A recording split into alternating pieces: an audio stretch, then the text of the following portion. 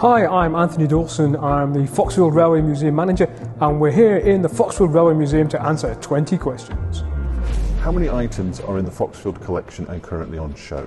About one and a half thousand individual items, and approximately 100 are on show. What years do the displays cover? Everything from approximately 1790 right through to the 1960s. When did the museum first open? In 1982. What surprises people most when they visit?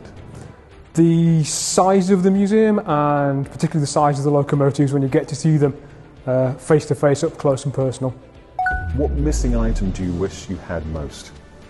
A Foxfield Railway coal wagon. How big would the building need to be to display all those items in the archive? Another 10 or 20 feet that way. If engines could talk, which would you most want to speak to in here and why?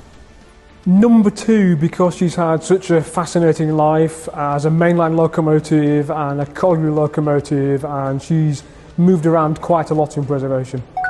How many volunteers are in the museum team currently? There are six of us, three of us full time, and a couple who can only do every other weekend. What stories do you tell in here? We tell the story of the Foxfield Colliery, the story of the railway, the Foxfield Railway that was built to serve it. We also tell, in broader strokes, the story of industrial railways and mainline passenger railways. What's the new certificate on the entrance door about? That's to show that we are members of the Association of Independent Museums. How can I donate to the museum? You can drop me an email through the Foxfield website, and then it involves an awful lot of paperwork. How many engines in here are unique? The museum has two unique uh, locomotives. We've got number two, North Staffordshire Rail number two, and we also have Rom River, which was the first purpose-built standard gauge diesel locomotive ever. How do you stop these engines from rotting away? Through trying to maintain a stable environment, so not too hot, not too cold, not too wet, not too dry, and through a regular campaign of cleaning uh, each locomotive.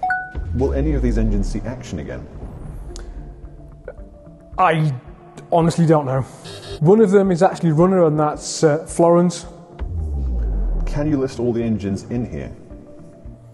From the back, we have Florence, number 11, Ironbridge, Henry Cort, Moss Bay, and number 2.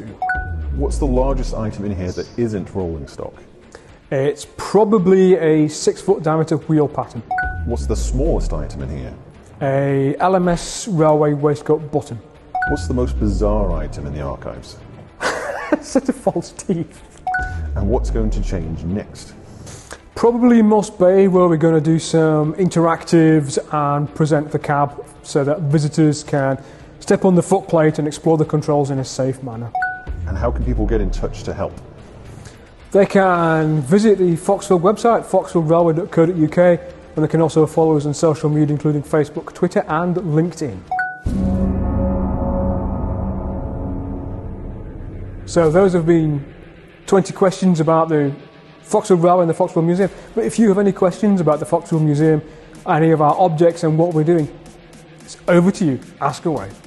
If you would like to volunteer at the Foxfield Railway or volunteer in the museum or even have something you would like to tell us or donate to the museum, do not hesitate to contact us through our website.